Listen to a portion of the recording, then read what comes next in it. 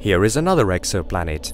Designation 55 Cancri E is tidally locked, and so it is always daytime on one side and nighttime on the other.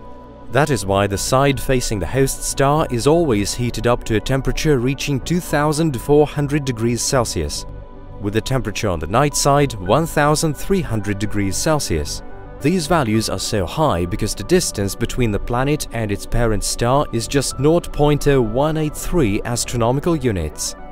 Besides, volcanism on 55 Cancri E, which is thought likely to be there, causes dust clouds emissions. These clouds trap heat and effectively prevent it from escaping into space. As for the atmospherical makeup, there is helium and hydrogen registered in it. There are also large amounts of carbon, Incidentally, this element is likely to form thick layers of graphite and diamonds in the planet's interior.